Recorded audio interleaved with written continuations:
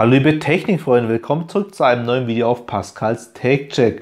Und heute geht es mal um ein USB-Ladegerät und zwar von Rave Power. Hier ist es schon vor mir, es ist das Unboxing-Video. Es handelt sich hier um ein 40 Watt USB-Ladegerät und ist zu einem sehr moderaten Preis von gerade mal 15 Euro. Wenn ihr also mehr darüber wissen wollt, dann bleibt unbedingt dran und wir sehen uns wieder nach dem Intro.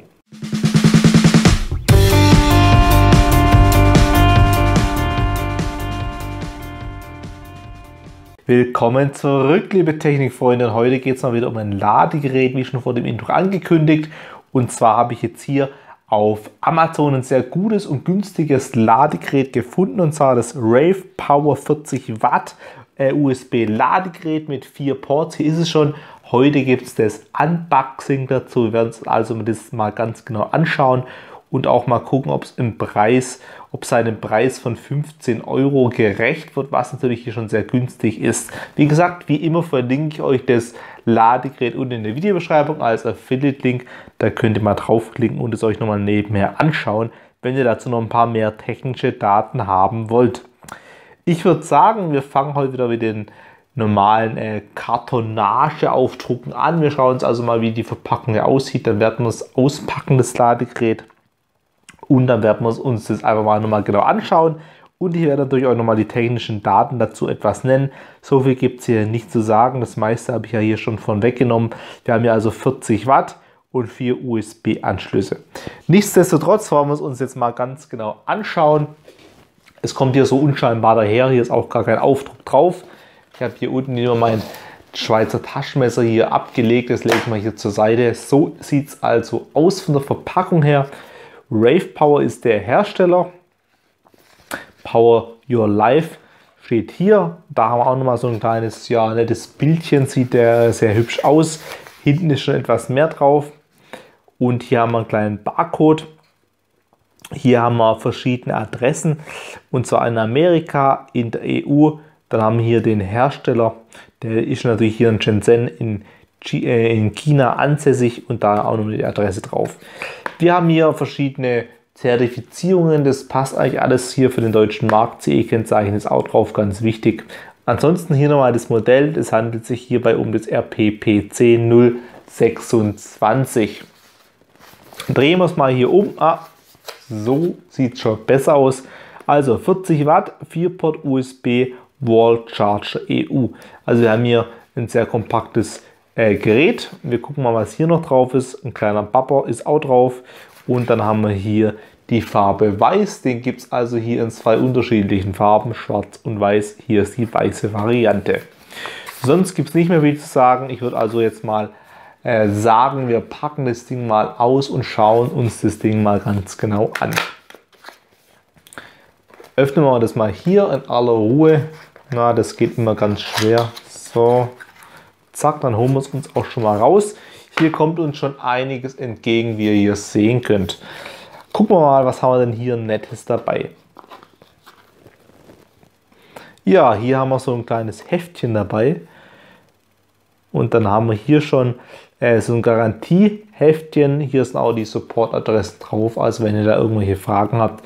Und hier könnt ihr schon sehen, wir haben hier 12 Monate ähm, Gewährleistung und wir können hier 180 Tage das Ding ähm, komplett kostenlos umtauschen. Hier haben wir auch einen äh, Customer Support, also einen Kundensupport drin. Ja, ansonsten gibt es ja noch ein paar Adressen, Facebook, Instagram, die sind auch alle vertreten. Hier noch ein kleiner Barcode und das war's auch. Ich lege das Ding mal beiseite, ich glaube, das brauchen wir jetzt hier nicht.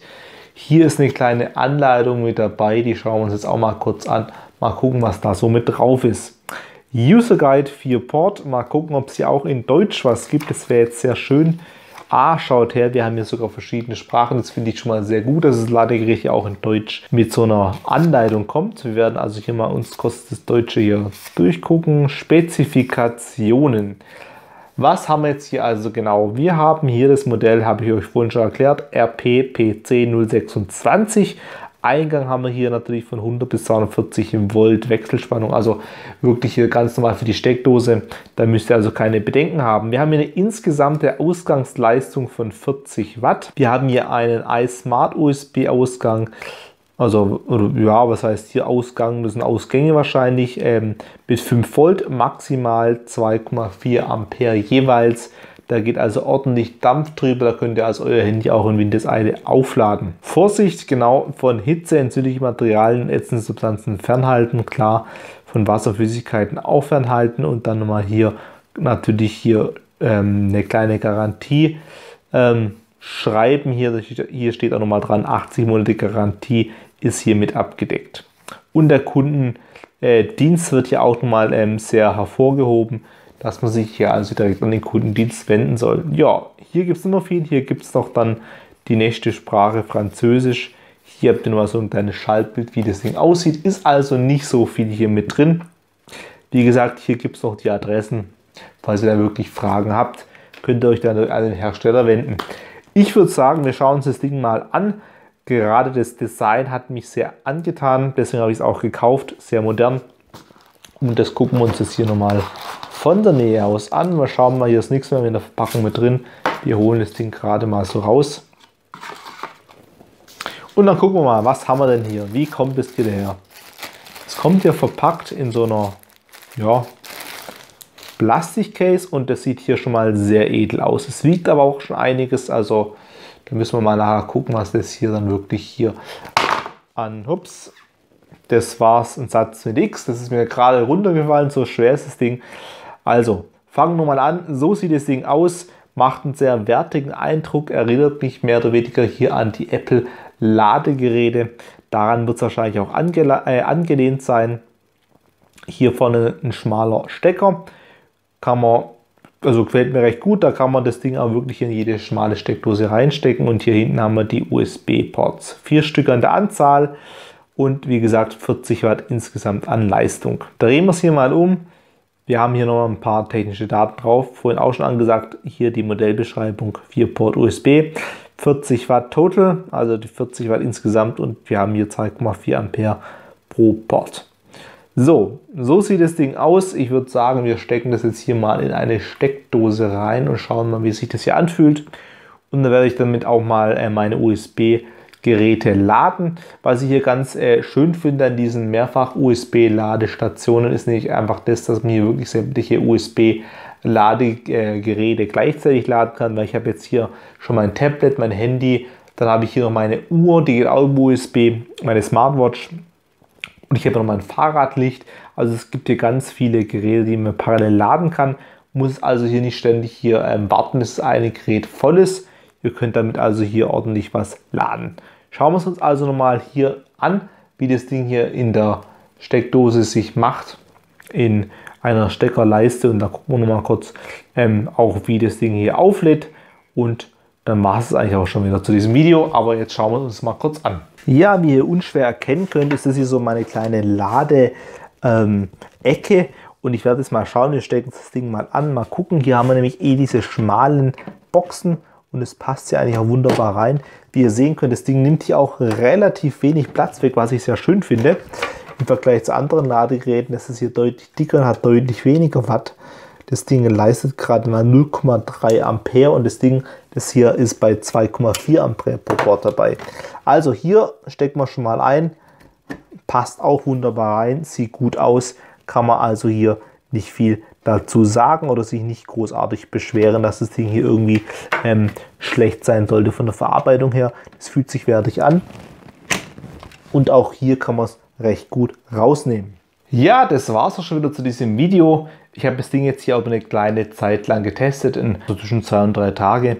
Ich habe damit auch verschiedene ähm, Geräte aufgeladen. Mein Handy war da natürlich hier an Platz 1 und natürlich auch mein Tablet und alles. Ich konnte alle Geräte sauber aufladen, da gab es gar keine Probleme. Mit den 2,4 Watt Ausgangsleistung ging es auch ratzfatz. Also auch hier hat es sich das Ladegerät gut bewährt.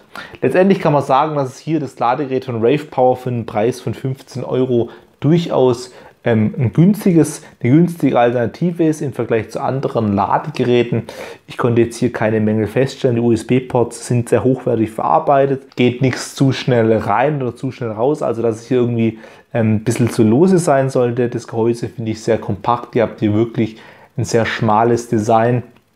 Hier die USB-Ports auch ein sehr hübsches Design, also gerade für solche Apple-Fans, die hier ein bisschen was in weiß haben ähm, möchten was auch wirklich hier einigermaßen gut aussieht und zu den anderen Ladegeräten passt, kann man das ja durchaus nur empfehlen. Mein Fazit fällt also sehr positiv aus. Da kann man hier eigentlich gar nichts falsch machen bei so einem Ladegerät mit 40 Watt. Ich verlinke es euch auch unten in die Videobeschreibung als Affiliate-Link. Da könnt ihr jetzt mal draufklicken und es euch auch nochmal nach dem Video dann nochmal in aller Ruhe anschauen. Das war es dazu. Ich hoffe, euch hat das Video gefallen. Ich hoffe, ich konnte euch damit ein paar Fragen zu diesem Ladegerät beantworten, auch wenn es vielleicht für den einen oder anderen etwas langweilig war, so ein Ladegerät-Review. Ich hoffe dann dennoch, dass es euch was gebracht hat. Ja, das war es dazu. Es würde mich freuen, wenn ihr dem Video einen Daumen hoch gebt, meinen Kanal abonniert und dann war es auch wieder. Wir sehen uns dann beim nächsten Mal. Euer Pascal.